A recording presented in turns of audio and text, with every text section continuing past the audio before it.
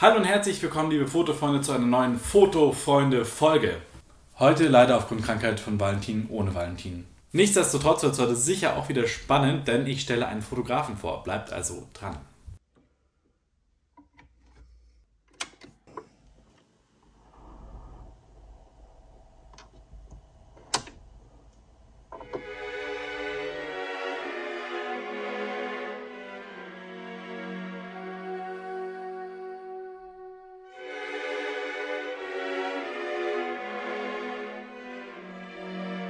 Der Fotograf, den ich euch heute vorstellen möchte, ist niemand Geringeres als Helmut Newton. Geboren als Helmut Neustädter am 31. Oktober 1920 in Berlin, hat er mit 16 Jahren bei der Modefotografin Else Ernestin Neuländer, Simon, besser bekannt unter dem Namen Yves, eine Ausbildung zum Fotografen begonnen. 1938, ihr wisst, die NSDAP-Regierung hat immer mehr Maßnahmen gegen Juden vorgebracht wandert er aus, übertrend geht er nach Singapur und dort arbeitet er erstmal als Fotoreporter für die Straits Times. 1940 geht er dann nach Australien und 1946 eröffnet er sein eigenes Fotostudio und lernt auch seine Frau June kennen, eine Schauspielerin, aber die arbeitet in dem Fall auch gerne als Model für ihn im Studio und hilft ihm auch in der Dunkelkammer. Sozusagen als Fotofreunde bzw. Foto-Ehepaar. Hier organisiert er seinen Namen zu Helmut Newton und arbeitet erstmal im Auftrag. 1956 wird er dann von der australischen Vogue engagiert und arbeitet fortan mit Henry Talbot zusammen in einem gemeinsamen Studium in Melbourne. Auch 1956 macht er eine Europareise mit seiner Frau und bekommt in London von der britischen Vogue ein Angebot für ein Jahr, das er zunächst annimmt, aber dann wieder zurückgeht, weil es ihm dann doch nicht so gut in London gefällt.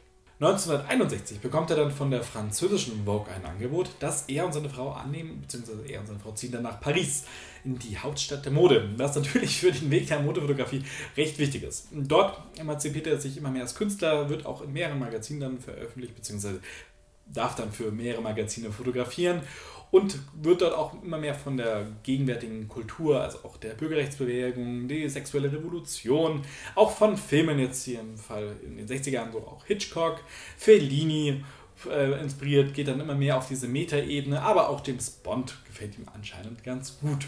In Paris widmet er sich jetzt erstmal der Modefotografie, wird ja auch von der Vogue und Konsorten engagiert. Und er fotografiert außen wie innen. Innen, da hat er ganz gerne irgendwelche exklusiven Hotellobbys, irgendwelche super fancy Restaurants. Im Hintergrund alles immer so ein bisschen shiny, ein bisschen surreal, irgendwie nicht aus der normalen Welt gehoben, passt aber auch zu der Haute Couture-Mode, die er auch oft fotografiert hat. Hier in dem Beispiel, was ich jetzt als erstes zeigen möchte, auch so seine erste bekannte Veröffentlichung. Da ist es auch ein sehr Metaebenenraum, aber das liegt daran, dass er sehr viele matte verspiegelte Spiegel an den Wänden hat. Aber seht jetzt mal selbst. Hier seht ihr jetzt vier Bilder von Helmut Newton. Da durfte er Entwürfe vom Modedesigner André Courrec belichten. Und was gleich auffällt, ist einfach, das sind diese matten Spiegel an der Wand, die auch etwas verbeult sind und dadurch einfach so einen surrealen Raum bilden. Also man sieht nicht so klare Raumgrenzen, man sieht auch irgendwie, man sieht zwar diese Person hier in der Mitte, dadurch sieht man sie auch gefühlt irgendwie schärfer, dadurch, dass nur die Person in der Mitte klar zu erkennen ist es wirkt aber alles so surreal. Also man weiß nicht so, wo hört jetzt der Raum an, wo fängt er an, wo ist das überhaupt, welche Zeit ist es auch sehr zeitlos für sich. Sicher auch inspiriert aus den 20er Jahren. Ihr kennt ja sicher auch den Film Metropolis oder habt schon mal von ihm gehört, von Fritz Lang. Einer der bekanntesten Filme aus der Zeit. Und da gibt es ja auch dieses Thema dieser Verdoppelung, dieser Verwandlung, dieses Maschinen, bisschen surreal, einfach irgendwie aus der Welt einfach. Und das ist hier, finde ich, sehr schön zu erkennen. Aber dadurch, dass halt so dieses Wabernde herum ist, dieses Surreale, sieht man, finde ich, diese Entwürfe eigentlich ganz gut. man konzentriert sich ganz gut und es hat diesen Effekt eigentlich wie eine Tiefenunschärfe. Bleiben wir gleich bei der Modefotografie und gehen hier in das Bild Essence oder Essence aus dem Jahr 1970. Und was fällt einem auf? Diese fünf jungen schwarzen Frauen, sie bewegen sich, sie kommen auf einen zu, es ist Energie drin, da ist irgendwie da ist Aufbruchsstimmung drin. Die Frau in der Mitte hat ein Megafon. Es wirkt so, als ob hier protestiert wird, als ob irgendwas hier, die gehen gleich hier in Paris auf die Barrikaden. Irgendwas wird hier wird verändert. Und ganz im Sinne der Zeit, der Bürgerrechtsbewegung, könnte das ja auch einfach eine Fotografie, eine Streetfotografie aus diesem Moment sein. Ist es aber nicht. Es ist einfach ein, oder was ist einfach, das ist jetzt natürlich auch ein bisschen böse gesagt. Es ist ein Bild für Yves Saint Laurent, kommerziell in Auftrag gegeben, aber von Helmut Newton mit einer politischen Aussage versehen. Und das hat Helmut Newton gerne gemacht. Er hat gerne irgendwie Auch wenn es irgendwie auf den zweiten Blick erst ist, gerne mit Konvention gebrochen. Manchmal auch auf den ersten Blick. Er hat auch gerne einfach mal in seinen Bildern als Fotograf interagiert. Das können wir nachher in dem Beispiel auch gleich sehen. Und hat dadurch Kommerz und Kunst etwas näher bringen wollen. Und auch seine eigenen Gestaltungsmöglichkeiten hat er dadurch immer weiter ausgebaut. Bleiben wir auf der Street, besser gesagt auf der Rue Aubriot und schauen uns eines der bekannteren Bilder von ihm auch an passenderweise heißt es auch Rue Aubriot und das wurde im Pariser Stadtteil Marais fotografiert. Da hat er auch bequemerweise hier gewohnt. Im Hintergrund sieht man das Haus, in dem ähm, Helmut Newton gewohnt hat. Was sehen wir jetzt hier? Wir sehen jetzt die Frau hier, kurze Haare, Hosenanzug, Zigarette in der Hand, Hand in der Hosentasche. Wirkt sehr stark, wirkt sehr modern, wirkt sehr selbstbewusst. Aber im zweiten Schritt fällt er auf, es ist ja eine Gasse. Und warum steht jetzt diese Frau nachts, also sieht man ja, dürfte Nacht sein mit den Lichtern an und der Himmel sieht dunkel aus. Warum steht die Frau jetzt hier nachts in der Gasse? Was macht sie dort? Und da kommt jetzt wieder so ein bisschen dieses Spiel mit Gegensätzen von Helmut Newton rein. Es könnte hier so ein bisschen auch Prostitution angesprochen werden. Es könnte aber auch einfach so eine sehr moderne, selbstbewusste Frau aus den 20er Jahren sein. Man weiß es nicht genau. Was man auf jeden Fall auch in dieser Bildkomposition bemerkt, ist so eine Dramatik. Man hat harte Schatten. Es ist so ein bisschen man hat eine sehr starke Gestik. Auch die Mimik ist in dem Fall sehr klar. Man sieht auch hier im Gesicht den schönen Schattenwurf. Er arbeitet dann so ein bisschen mit Elementen, die er sich von Hitchcock abgeschaut hat, um hier so ein bisschen Spannung, Drama, ihr kennt ja Hitchcocks Horrorfilme, mit reinzubekommen. Auf mich wirkt es auf jeden Fall sehr dramatisch, aber es handelt sich mal wieder nur um eine Modestudie für Yves Saint Laurent, könnte aber auch eine top aktuelle Jenner-Studie sein. Anfang der 70er Jahre reist Newton dann in die USA und fotografiert in New York, in Miami, in Los Angeles. Letzteres gefällt ihm so gut, dass er dann auch einen Teil seines Wohnsitzes dorthin verlagert und mit seiner Frau June die ersten Monate des Jahres immer dort wohnt. Im Jahr 1971 hat er dann bei einem Modeshooting einen Herzinfarkt und beschließt daraufhin nur noch Sachen zu machen, die ihm wirklich Spaß machen und gefallen. So geschehen hat er dann auch im Playboy seine ersten Aktfotos veröffentlichen dürfen, die aber nicht ganz so experimentell ausfallen wie seine Bilder für die Vogue. Auch veröffentlichte er seine ersten Bücher 1975 White Women, 1978 Sleepless Nights, hat seine erste Fotoausstellung in der Nikon Galerie in Paris. Übrigens auch Helmut Newton hat sehr gerne Nikons verwendet, man sieht es auch öfter in Selbstporträts oder sonstigen Spiegelungen bei Fotografien. Insgesamt waren die 70er Jahre bei ihm sehr produktiv. Neben den Modeshootings durfte er zum Beispiel auch Reportagen machen. Für den Stern hat er zum Beispiel eine Reportage über seine Heimatstadt Berlin gemacht. Aber auch in der Aktfotografie konnte er sich weiter profilieren und mit den Büchern, die er auch immer herausgebracht hat, wurde er immer bekannter und der Name Helmut Newton wurde dann über die Grenzen der Szene hin immer, immer, immer, immer, immer, immer, immer bekannter. 1981 hat er beschlossen, Paris zu verlassen und da gab es nochmal eine große Abschiedsausstellung, die Grand Nu Photographie 2080-2081 hieß und dort hat er seine aktuelleren Bilder ausgestellt. Das waren unter anderem die Grand Nudes, das waren lebensgroße Aktbilder, aber auch die Dressed and Naked Serien. Das hat er auch entwickelt, dass er Models, nachdem sie ein Modeshooting gemacht haben, doch gebeten hatte, sich auszuziehen und die gleichen Posen in nackt nochmal zu vollführen. 1982 ist er dann aus Paris weggegangen und ist nach Monte Carlo umgezogen.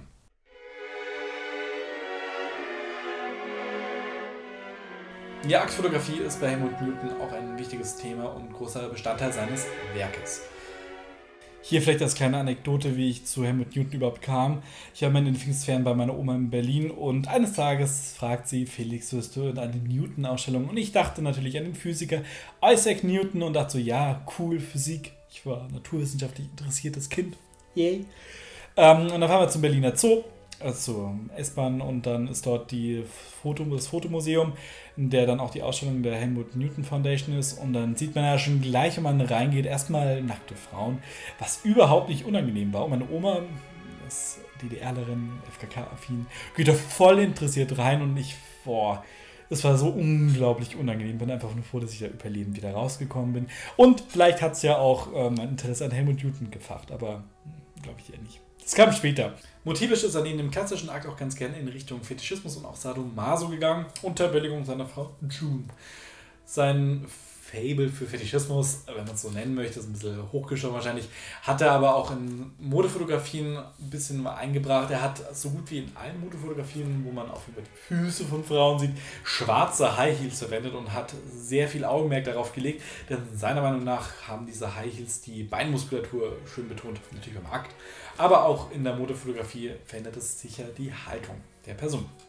Hier auf dem Bild, das ich euch jetzt nicht zeigen werde, weil das halt mit YouTube so ein bisschen blöd ist mit nackten Frauen. Aber ihr könnt mal schauen, ob ihr es selber findet. Aber ich werde es auch, auch hoffentlich gut genug beschreiben. Heißt uh, Self-Portrait with Wife and Models, 1981 in den Pariser Studios der Vogue entstanden. Und die Situation ist so, man sieht im Hintergrund einen Spiegel, körpergroß. Man sieht seine Frau June dort sitzen, sehr professionell interessiert auf das nackte Model schauend. Man sieht das Model unscharf links im Vordergrund, aber man sieht es natürlich scharf voller Körpergröße in der Spiegelung und dort natürlich auch scharf fokussiert. Was man aber auch sieht ist, der Spiegel ist übrigens bildparallel zu seiner Kamera aufgestellt, sieht man auch Helmut Newton schön mit Trenchcoat. Er hat sich ja selber auch auf das Voyeur gesehen irgendwie wirkt das auch so ein bisschen nach Trenchcoat Voyeur. Und da schaut in so eine Zweiäuger rein. Ich würde mal vermuten, das ist eine Rolleiflex. Und fotografiert die Szene. So, so, irgendwie komisch auf den ersten Blick oder auf die erste Erzählung. Das sein mag, dass da seine Frau sitzt, irgendwie ganz interessiert da steht und diese nackte Frau anschaut. Die nackte Frau übrigens mit schwarzen Highs und Helmut Newton dadurch seine Zweiäuger schaut. Man sieht eigentlich sein Gesicht nicht, man sieht bloß diesen Trenchcoat. Umso witziger ist die Auflösung mit diesem Ganzen. Also June denkt, sie ist gar nicht in diesem Bildausschnitt drin. Sie kam eigentlich nur, um Helmut Newton zum Mittagessen zu holen. Man sieht auch ganz hinten rechts in diesem Bild, das sieht man auch so, so ein bisschen die Äußer äh, in einem anderen Raum von der Vogue, der dann wieder ein bisschen zivilisierter aussieht als nur dieser Spielraum. Und Helmut Newton fotografiert. Der Plot ist an dem Ganzen ist, Helmut Newton ist das Model in dem Ganzen. Er ähm, hat nämlich von der L'Uomo Vogue aus Mailand, der italienischen Männer Vogue, würde ich mal dem Namen nach entsprechen, Folgern einen Auftrag bekommen, eine Bilderserie über Regenmetal zu machen. Da hat er sich halt einfach selber als Model mit dem Trenchcoat eingesetzt. Was natürlich irgendwie nicht auf den ersten Blick klar wird, aber wenn man das natürlich, so das ja auch veröffentlicht in der L'Uomo Vogue, wahrscheinlich dann auch ein bisschen mit dem Kontext verständlicher macht.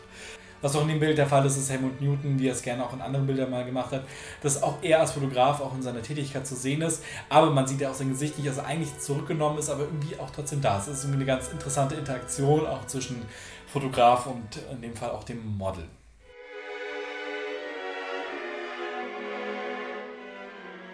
Ich ja schon gesagt habe, hat Helmut Newton auch ganz gerne sich vom Kino inspirieren lassen. Film war ein bisschen düster. James Bond, so ein bisschen militärisch, hat er auch in den 60er Jahren ein paar Modefotografien gemacht. Dann aber auch Hitchcock-Filme, dieses dramatische. Dann aber auch die Nouvelle Vague, so ein bisschen avantgardistischere Filme, experimentellere Sachen. Zum Beispiel auch hier aus den 20er Jahren Fritz Langs Metropolis auch schon erwähnt. Hat er auch sich von Quentin Tarantino, seinem Pulp Fiction, inspirieren lassen. Und in dem Beispiel, was ich jetzt aber auch für seine Porträtfotografie anführen will, hat er sich auch inspirieren lassen.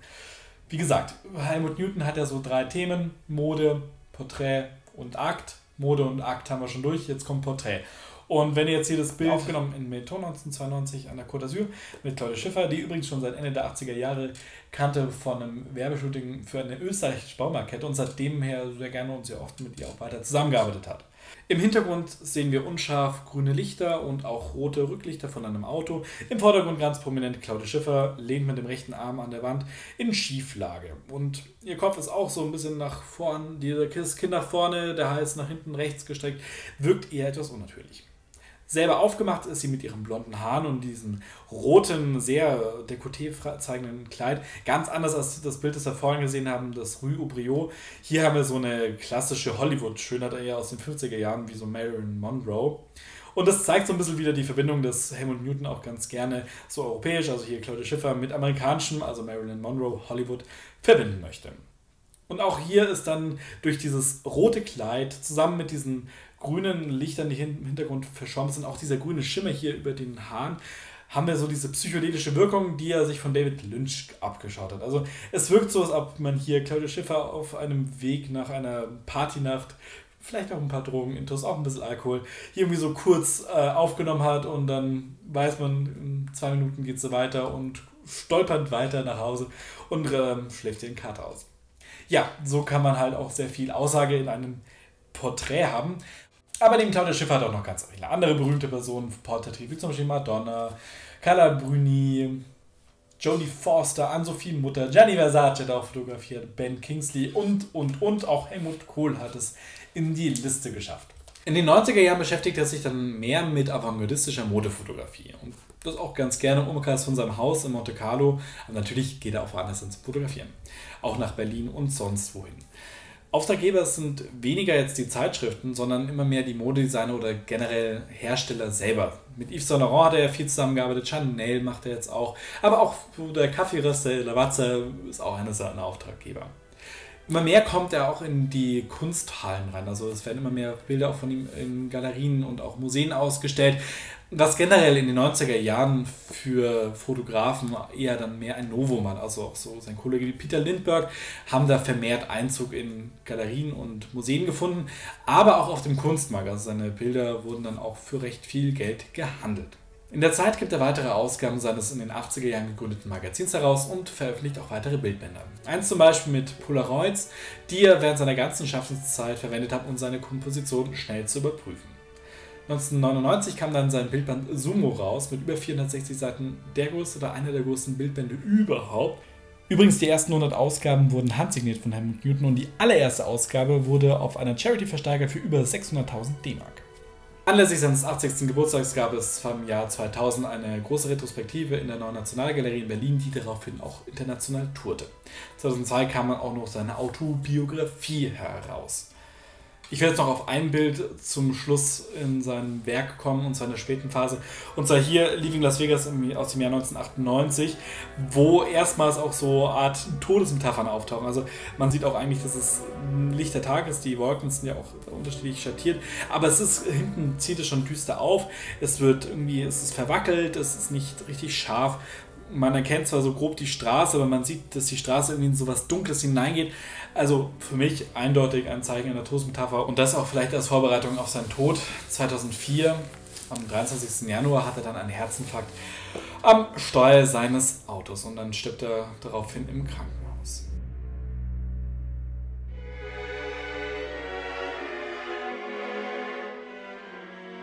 Vielleicht noch kurz zum Schluss. Es gab natürlich auch so ein bisschen Kontroversen mit den ganzen Akten über Helmut Newton. Er war ja selber eigentlich immer sehr am Zahn der Zeit und hat auch die revolutionären Bewegungen mit aufgenommen in seinen Werken. Aber in den 70er Jahren vor allem haben Personen aus der Frauenbewegung seine Akte oft auch eher als anstößig und unpassend empfunden, weil er sie Frauen ja auch schon sehr instrumentalisiert hat. Es gibt also Werke, wo er schon recht ja, interessante Konstruktionen gebastelt hat. Ähm, und das halt in so Maso-Fetischismus auch eingebettet hat. Und das kam natürlich nicht bei allen gut an. Er selber hat gemeint, er sei Feminist und ich würde es auch ehrlich gesagt dabei stehen lassen, denn Leben tut er nicht mehr, Fragen können wir nicht mehr. Ich hoffe, die Folge hat euch gefallen und war auch informativ. Ich habe mich mit diesem Bildband vorbereitet, da stehen nämlich auch ein paar Texte drin und Legacy, da ist ein ganzes Lebenswerk so versucht abgebildet zu werden. Wenn ihr wollt, schreibt gerne Kommentare und tschüss bis Denver.